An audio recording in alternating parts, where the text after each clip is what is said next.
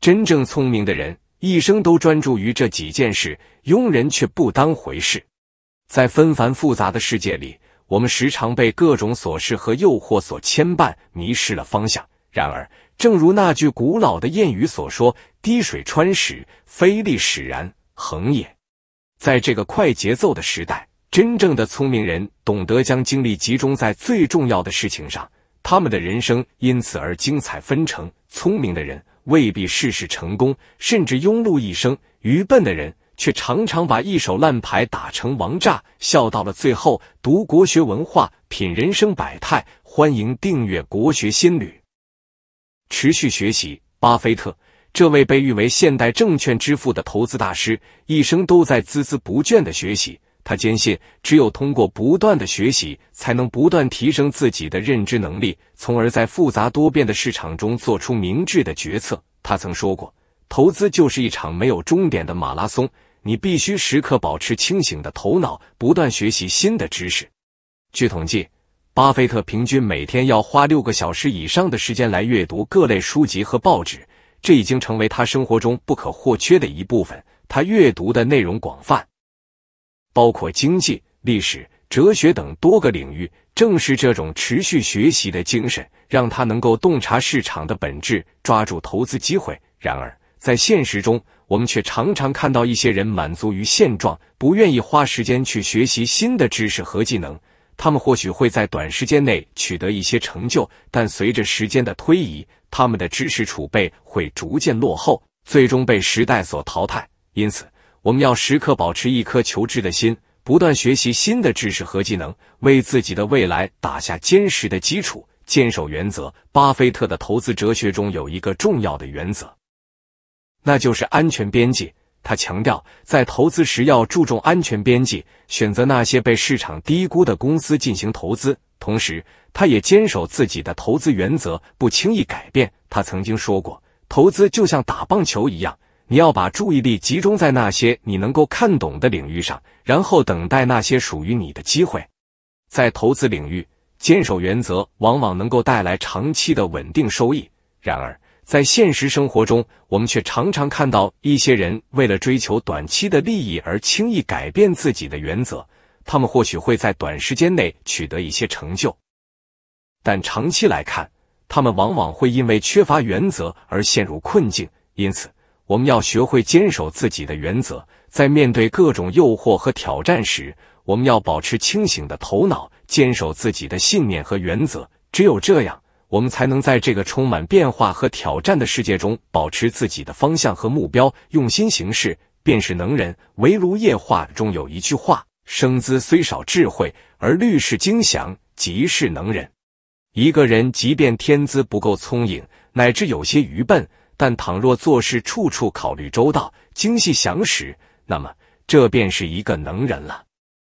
聪明之人容易陷入交金，于是凡事自恃聪明，往往就少了那么点用心。也不乏聪明反被聪明误者。况且，聪明的人不可能事事聪明、时时聪明，而世上的事也并非仅靠聪明二字就可以。反倒是愚笨之人，正因为不够聪明。也无可自恃之处，只好低调朴实，事事用心，处处用心，时时用心。于是，用心的人反而日积月累，水滴石穿，终会在人生的某个节点，将素常的四平八稳变成一鸣惊人。事事尽管千头万绪，最怕用心二字，因为用心才会认真对待问题，尽全力去寻找解决办法。世上从来不缺聪明人。但聪明人不等于是能人，少了用心二字，天才也会泯然众人。用心的人才是真正的能人，用心专一是有所成，用心分辨少走弯路。菜根谭中有一句话：一念错，便觉百行皆非；方知当如渡海浮囊，勿容一针之下漏。万善全，使得一生无愧；修之当如凌云宝树，虚假众目以称持。人生在世，错误难免，然而很多错误。其实都起于一念之间，但一念之差谬以千里。因此，古人讲凡事应三思而后行。生活不是一场说走就走的旅行，切忌一时头脑发热果。做事多些思虑，多些谨慎，未尝不是一件好事。也许有人说，生命在于折腾；也许有人说，成年人要有能力承受自己的每一个决定。但是，不要高估自己的承受能力。承受两个字，并不是简简单单从嘴里念出来而已。世上没有后悔药，但很多错误其实都可以避免。在做决定之前，多用心考量一番，用心权衡利弊，用心听取建议，用心分辨对错。每一次用心，都会让人少走一些弯路，少犯一个错误。用心感受，发现快乐。生活中，人人都有这样的经验。一件看似不起眼的小事，却给我们带来莫大的惊喜和愉悦，成为突如其来的幸福。现代人将这种经验称为生活中的小确幸。其实哪里有什么天降好运、天上掉馅饼，从来都是白日梦。那份小确幸，不过是我们对那件小事的用心感受。菜根谭有言：“风来疏竹，风过而竹不留声；雁渡寒潭，雁去而潭不留影。”故君子事来而心始现，事去而心随空。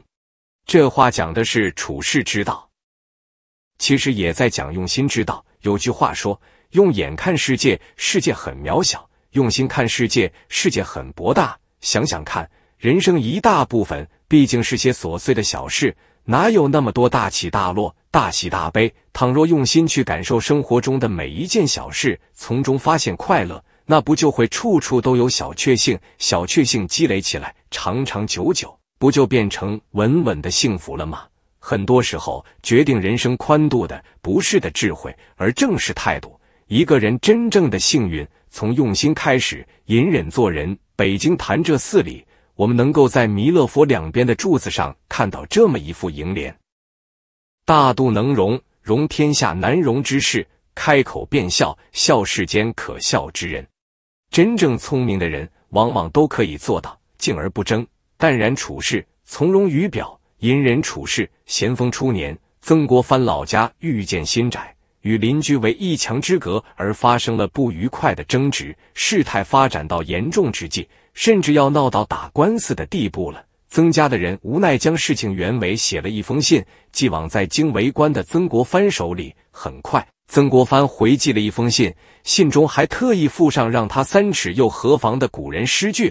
家人看到便遵从他的建议，甚至主动将地退缩了三尺。邻居见状惭愧不已，进而感动，于是也非常有人情味的将地自动退让三尺，让曾家扩建新宅。人生在世，谁都可能遭受一时的挫折、无奈、打击和痛苦。若是一味的硬刚，很可能只会招致两败俱伤。不如选择隐忍一时，忍住暂时的屈辱，磨练自我的心胸和意志，然后寻找合适的机会，让自己真正达成心里的目标和野心。正所谓“忍一时风平浪静，退一步海阔天空”。英国文学家迪斯雷利说：“坚忍是成功的诀窍，懂得忍受一切。”敢于忍受一切，习惯忍受一切，就可能无所不能。能够忍受自己的人，才能在生活里享受空闲；能够忍受别人的人，才会在人生里享用自在。忍一忍，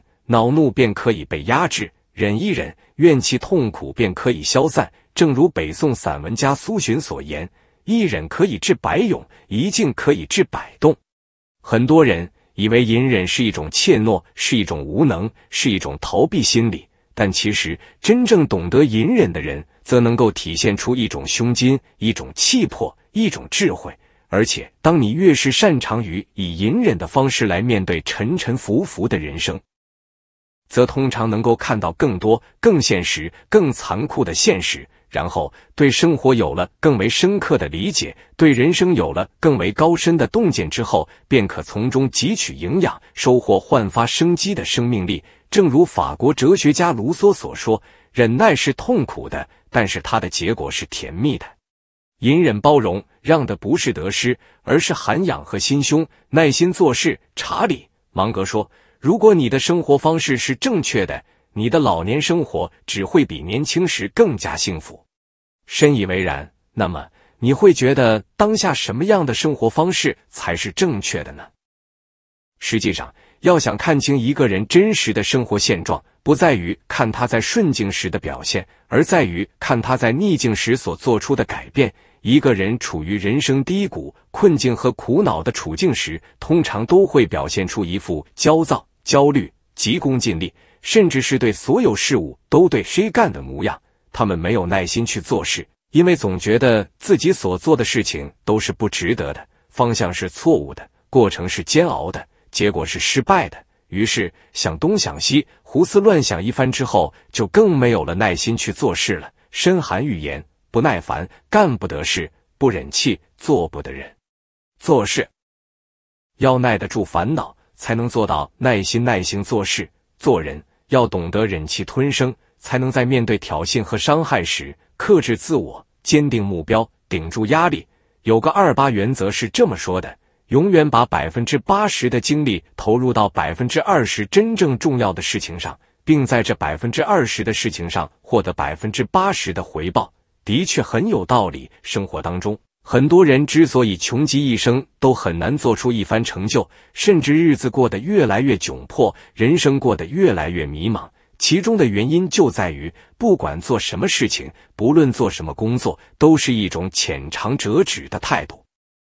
一是感到工作压力大了，工资又不涨了，觉得没意思就换了，然后经人介绍了一份轻松又高薪的工作。屁颠颠去做了一段日子，发现并不是这么一回事，然后又特别不爽的辞职了，再然后又火急火燎的找下一份工作，周而往复，兜兜转转几年，甚至十几年，换了十几份工作，最终发现自己还是一无所成。实际上，人的耐心、耐性也会在这样的浮躁、焦躁的心态历程里逐渐消失的无影无踪。聪明的人通常都会选择精力投入法。一件事不管大小，耐心去磨，用心去练，决心去做。如此，非但慢慢可以掌握工作上的一些心得，甚至还能收获一些精髓。这些心得、精髓，就是你拿耐心、时间、精力来交换得到的竞争力，也是别人学不来、拿不走的。爱因斯坦曾说：“耐心和恒心总会得到报酬的。”耐心做事，恒心坚持。你才能真正从耐心付出、坚持付出的过程里得到自己想要的答案。谁没有耐心，谁的生活就会陷入一团糟。格拉索也说，一切事情的关键是耐心。孵蛋才得小鸡，把蛋打破是得不到小鸡的。所以，不管在什么年纪里，都要时刻警醒一下自己，要保持耐心，保持耐性。因为这样，你才能在人生的岁月里耐心的浇灌，开心的收获。以上就是今天的全部分享。如果你也喜欢本期内容，欢迎持续关注、点赞、订阅。